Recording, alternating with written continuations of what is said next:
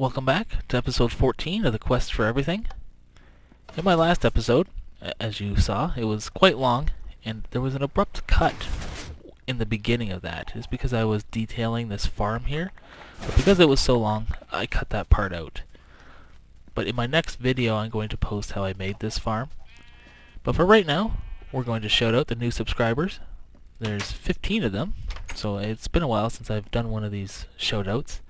So welcome aboard guys. I've added you all to the wall here. Now on my channel, there are, I have 97 subscribers. So that means there's only three more people who can get into this wall. So if you're watching this video and you're not subscribed, click that subscribe button. Now today, because we got Silk Touch, thankfully and finally, in the last episode, we're going to go out and we're going to grab everything that we need. And I need to talk to you guys about what to do next. So stay tuned and we'll be in a mine. I found this spot the other day while exploring some of the caves and here's our first victim, coal.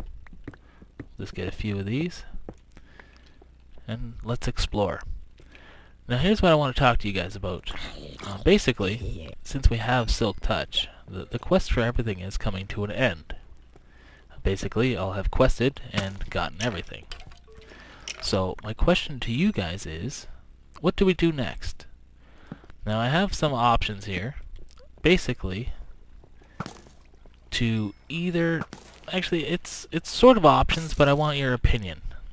But I, I sort of know what I want to do. I basically want to go onto a, a multiplayer server and do the quest for everything all over again, except I'll make it a bit more difficult, because in all honesty, this, this wasn't too hard. There's some iron, get some of that, and but the, the upgraded difficulty on this server will be that instead of getting like one of everything, I need to get like a chest of everything.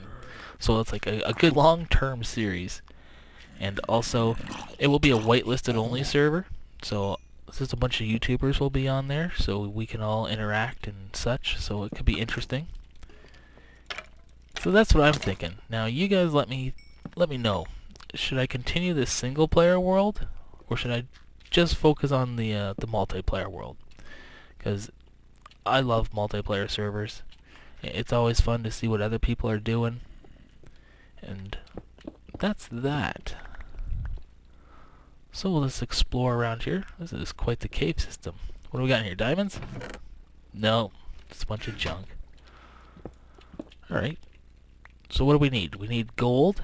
We need some redstone. And of course diamonds. There's a lot of mobs in this area. Maybe I should eat something. That sounded like some cave spiders. No, this is a regular spider. Oh, there's gold.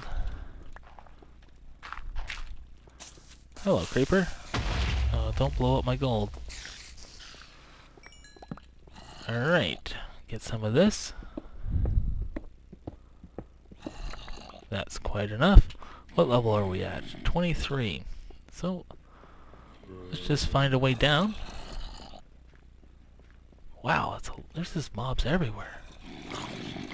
Look at all those creepers down at the end of that tunnel.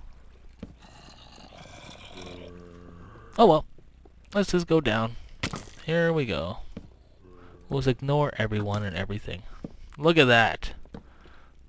And okay, this is working out great. So we'll kill you. Grab some of this. Thank you. And we'll grab this redstone.